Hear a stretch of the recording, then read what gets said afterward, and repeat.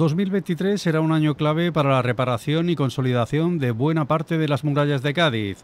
Así se ha establecido en la programación de actuaciones previstas por demarcación de costas.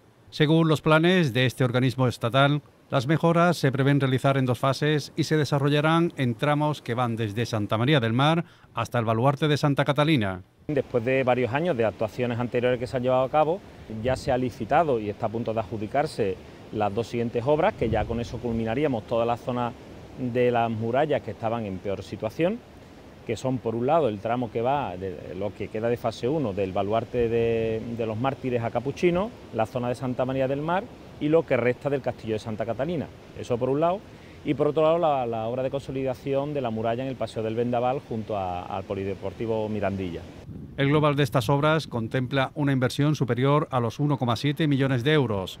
Traxa será la encargada de realizar la primera fase de reparación de los muros del Campo del Sur, que comenzará en el primer trimestre del año y finalizará en un plazo estimado de cuatro meses. Consiste en consolidar los rellenos que se encuentran en el trasdos del muro. El problema que, se, que ocurre en esta zona no tiene nada que ver con los demás, es una zona de un muro bastante más moderno, ya del siglo XIX, y lo que ha ocurrido es que ha habido deslizamientos en el cuerpo interior, en el relleno que existe detrás de la muralla.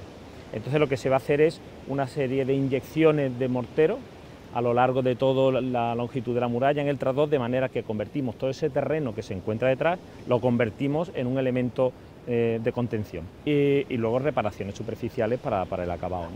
Al margen de estas obras prioritarias, Costas contempla poder intervenir también en cualquier operación de emergencia que surgiera, como ya ocurrió en los baluartes del Bonete o el Orejón.